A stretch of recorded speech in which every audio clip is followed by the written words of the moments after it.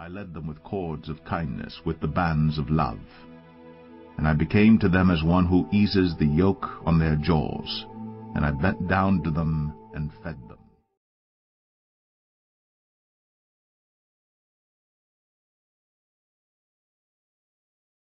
Shemuel Aleph chapter 1 And there was a certain man of Ramathaim Tzophim, of the mountains of Ephraim, and his name was Elkanah, son of Yeroham, son of Elihu, son of Tohu, son of Tzuph, an Ephraimite. And he had two wives. The name of one was Hannah, and the name of the other Peninnah. And Peninnah had children, but Hannah had no children. Now this man went up from his city year by year to worship, and to slaughter to Yahweh of hosts in Shiloh. And the two sons of Eli, Hophni and Pinchas, the priests of Yahweh, were there. And when the day came for Elkanah to make a slaughtering, he gave portions to Peninnah his wife, and to all her sons and daughters. But, although he loved Hannah, he gave only one portion to Hannah, because Yahweh had shut up her womb. Moreover, her rival also provoked her greatly, to make her irritable, because Yahweh had shut up her womb. And so he did year by year. Whenever she went up to the house of Yahweh, she was provoked, so that she wept and did not eat. And her husband Elkanah said to her, Hannah, why do you weep? Why do you not eat? And why is your heart sad? Am I not better to you than ten sons? And Hannah rose up after eating and drinking in Shiloh, while Eli the priest was sitting on the seat by the doorpost of the Hechal of Yahweh. And she was bitter in life, and prayed to Yahweh, and wept greatly. And she made a vow, and said, O Yahweh of hosts, if you would indeed look on the affliction of your female servant, and remember me, and not forget your female servant, but shall give your female servant a male child, then I shall give him to Yahweh all the days of his life, and let no razor come upon his head.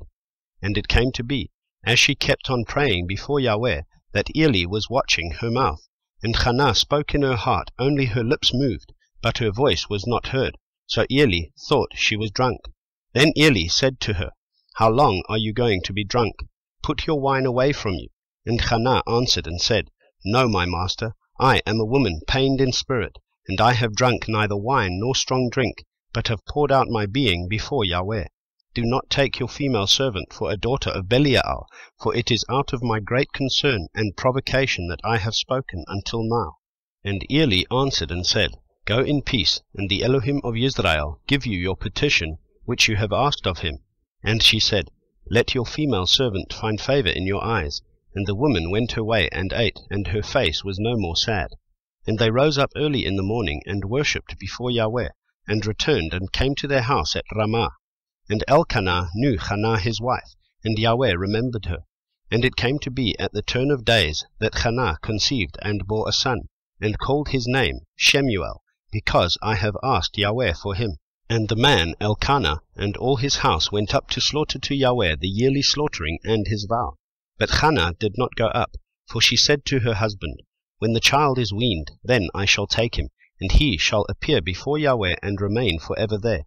And her husband Elkanah said to her, Do what is good in your eyes, remain until you have weaned him, only let Yahweh establish his word. And the woman remained and nursed her son until she had weaned him. And when she had weaned him, she took him up with her, with three bulls, and one ephah of flour, and a skin of wine, and brought him to the house of Yahweh in Shiloh. And the child was young. And they slew a bull, and brought the child to Eli. And she said, O my master, as your being lives, my master, I am the woman who stood by you here praying to Yahweh. I prayed for this youth, and Yahweh has granted me what I asked of him. So I have also loaned him to Yahweh. All the days that he lives, he shall be loaned to Yahweh and he worshipped there before Yahweh.